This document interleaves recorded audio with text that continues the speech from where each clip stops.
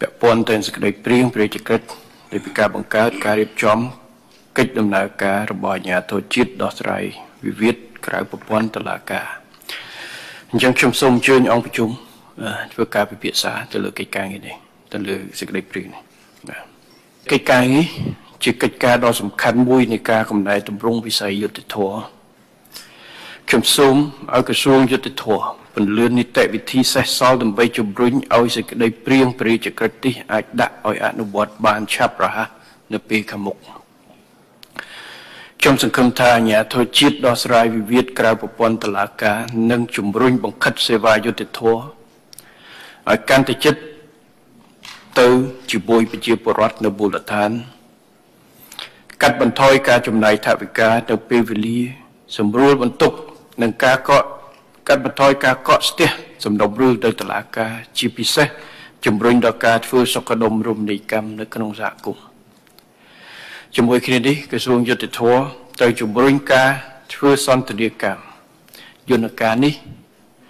ជាមួយយន្តការដោះស្រាយវិវាទក្រៅប្រព័ន្ធតុលាការ ដែលមានស្រាប់ដតីទៀតដូចជាយន្តការរបស់អាជ្ញាធរជាតិ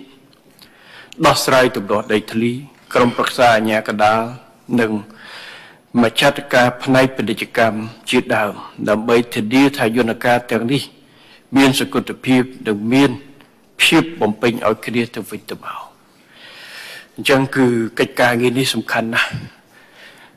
ធ្វើយ៉ាងណាកុំឲ្យមានការជន់គ្នាត្រួតស៊ីគ្នា នៅក្នុងយន្តការនៃការបង្កើតរបស់យើងហើយដោយអាដាមកើតរិទ្ធបានបញ្ជាក់ហើយអ្វីដែលយើងច្រឡោះប្រហោងយើងប៉ះបន្ថែម ដើម្បីពង្រឹងគោលដៅនៅក្នុងការបម្រើសេវាជូនប្រជាពលរដ្ឋអ្វីដែលមាននៅក្នុងយន្តការដែលមានស្រាប់គឺសូមពង្រឹងនិងធ្វើការសហការជាមួយគ្នាកិច្ចការទាំងអស់នេះគឺដើម្បីផ្ដល់នៅជំរឹះបន្ថែមជូនដល់ប្រជាពលរដ្ឋនៅក្នុងការដោះស្រាយបញ្ហាហើយសូមបញ្ជាក់ថាកិច្ចយន្តការថ្មីនេះការអនុវត្តគឺមិនមែនធ្វើឡើងដើម្បីបង្ខិតបង្ខំប្រជាពលរដ្ឋឲ្យទៅប្រើសេវានេះទេ ប៉ុន្តែ គឺជាជំរឹះបន្ថែមសម្រាប់ប្រជាពលរដ្ឋរបស់យើងគេលោកមានការបកស្រាយខុសពីដឹងថាបកើតហើយទៅចាប់បង្ខំ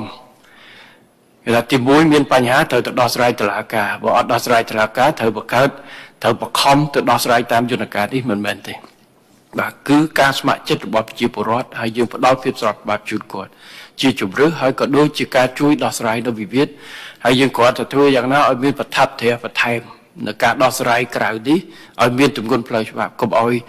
សម្របសម្រួលក្រៅផ្លូវការហើយអត់មានអីបញ្ជាក់ដល់អញ្ចឹងអត់មានទម្ងន់ថ្ងៃក្រោយភាគីមិនអាចគ្រប់គ្នាបើនៅតឡាការមានសារក្របវិទ្យអីប៉ុន្តែអញ្ចឹងយន្តការដោះស្រាយវិវាទនេះដូចថាជាយន្តការអញ្ញាកដាលស្តៀងនៅក្នុងយន្តការរបស់វិវាទការងារអញ្ចឹងគឺមិនចាំបាច់ទៅតឡាការតែយើងមានជំរឿផ្សេងទៀតព្រោះរឿងខ្លះអត់ចាំបាច់ទៅដល់តឡាការហើយតឡាការ បើមានសំណុំរឿងច្រើនកាន់តែយូរហើយនឹងបង្កើតនៅគឺថាការចំណាយច្រើនជូនដល់ប្រជាពលរដ្ឋអញ្ចឹងយន្តការនេះសង្គមថានឹងអាចជួយហើយសំខាន់បំផុតគឺការធ្វើយុទ្ធនាការផ្សព្វផ្សាយពយល់តែដល់មហាជនឲ្យបានយល់ហើយនេះគឺជាកិច្ចការឲ្យគាត់យល់អំពីច្បាប់យល់អំពីជំរឹះអ្វីដែលការរៀបចំនេះជូនបាទអញ្ចឹងគឺការគិតគូររបស់យើងនៅក្នុងការរៀបចំជាអាជ្ញាធរជាតិ ហេតុអីបានជាយើងមិនត្រឹមរៀបចំត្រឹមគណៈកម្មការហើយហេតុអីត្រូវតែរៀបចំរហូតដល់ឧបនាយករដ្ឋមន្ត្រីទៅការដឹកនាំនេះគឺជាស្ថិតនៅក្នុងអតិភិបមិនខុសពីអាជ្ញាធរជាតិប្រយុទ្ធប្រឆាំងគូប្រយុទ្ធប្រឆាំងគ្រឿងញៀននិងយន្តការថ្នាក់ជាតិផ្សេងទេអញ្ចឹងការដោះស្រាយការពង្រឹងនៅប្រព័ន្ធយុទ្ធធរគឺជាអតិភិបសំខាន់សម្រាប់យើងនៅក្នុងអាណត្តិទី7នេះសំខាន់បំផុតថា ដោះស្រាយនិងរៀបចំពង្រឹងប្រព័ន្ធយុទ្ធធរការឆ្លើយតបទៅនឹងប្រជាជនយើងធ្វើយ៉ាងណាបាទដើម្បីឲ្យបានលទ្ធផលជាក់ស្ដែងដែលខ្ញុំតែនិយាយមិនសំខាន់លើលើกระดาษដែលខ្ញុំអានទេប៉ុន្តែសំខាន់ធ្វើយ៉ាងណាយន្តការយ៉ាងណាឲ្យចេញជាផ្លែផ្កាទៅលើដីអញ្ចឹងការរៀបចំជាអញ្ញាធរជាតិដោះស្រាយវិវាទក្រៅប្រព័ន្ធតុលាការនេះ យើងសង្ឃឹមថានឹងចូលរួមចំណែកដើម្បីផ្ដល់យុត្តិធម៌និងបង្កើតនៅសក្តិភាពរាជការនិងការជួយគឺថាមិនទៅជំនួសតុលាការទេជាយន្តការសម្រាប់ជួយសម្របសម្រួលក្រៅប្រព័ន្ធដើម្បីជំនួសဝန်ន័យថាបំពេញបន្ថែមទៅដល់យន្តការដែលយើងមានស្រាប់និងជាជំរើសជូនប្រជាពលរដ្ឋយើងជាយន្តការអញ្ចឹងខ្ញុំសូមអឺកិច្ចការគេនេះហើយជាមួយគ្នានេះក្រសួង ខ្ញុំក៏សូមបកគោលភារកិច្ចបន្ទាប់ជូនទីស្តីការគណៈរដ្ឋមន្ត្រីសហការជាមួយក្រសួងយុទ្ធភ័ពដើម្បីរៀបចំនីតិវិធីបន្ត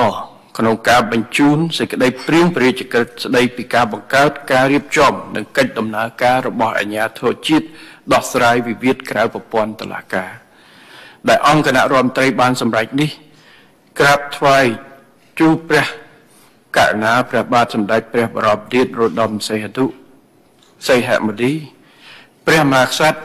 នៃព្រះជាណាចក្រកម្ពុជា ដើម្បីថ្វាយជូនទ្រង់ពិនិត្យនិងឡាយពហោះតលេខាដោយចាត់ទុកជាការប្រយ័ត្ន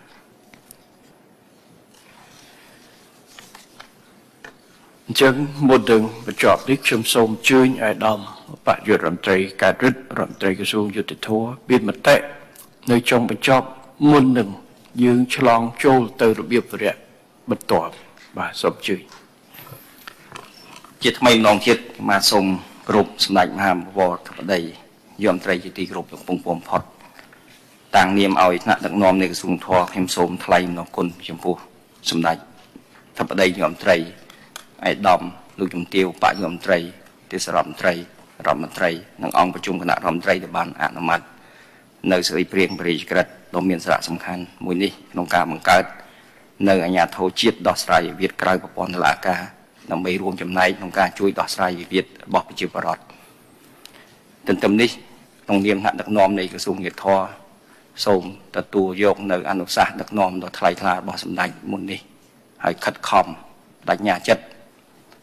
យកការទទួលខុសត្រូវមួយដើម្បីអនុវត្តកិច្ចការងារនេះឲ្យចេញជាលទ្ធផលជាក់ស្ដែងជាពិសេសគឺការដោះស្រាយវិវាទរបស់ប្រជាពលរដ្ឋ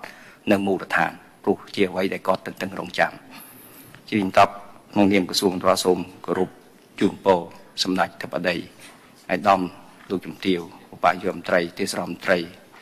រដ្ឋមន្ត្រីនិងអង្គប្រជុំគណៈរដ្ឋមន្ត្រីទាំងមូលសូមមានសុខភាពល្អ